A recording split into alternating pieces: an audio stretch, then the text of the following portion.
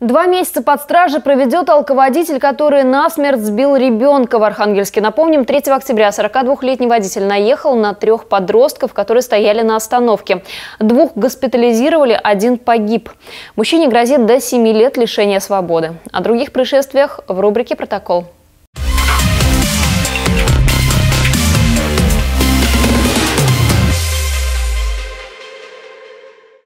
Это видео прислал наш телезритель. На кадрах мотоциклист въехал в «Шкоду» на улице машиностроителей. По словам автора, водитель двухколесного обгонял попутные автомобили. Легковушка поворачивала налево. Возможно, водитель «Шкоды» не убедился в безопасности маневра. Мотоциклист не успел затормозить. По словам свидетелей, пострадавшие разошлись без конфликтов и без помощи сотрудников ДПС. Сегодня ночью полыхало на Ленинградском 113 в Архангельске. Загорелся Volkswagen Passat. Очевидцы вызвали пожарных, но спасти автомобиль не удалось. Volkswagen сгорел полностью. Пострадал и рядом стоящий Kia Rio. У легковушки оплавилось лакокрасочное покрытие и пластиковые молдинги. Основная версия причины пожара – поджог.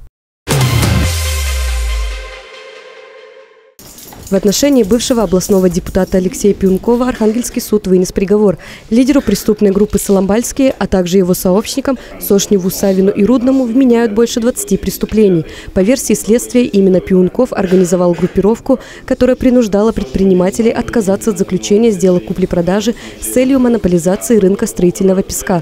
Соломбальские применяли физическое насилие и угрозы.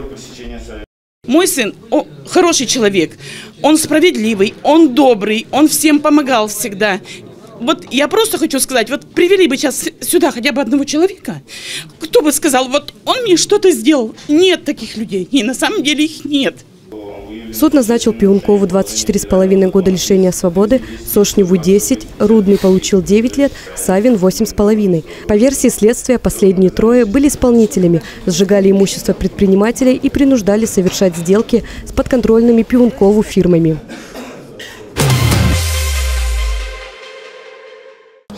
Осужденного нашли повешенным сотрудники исправительной колонии в поселке Пирсы. Пострадавший отсутствовал на месте после рабочей смены.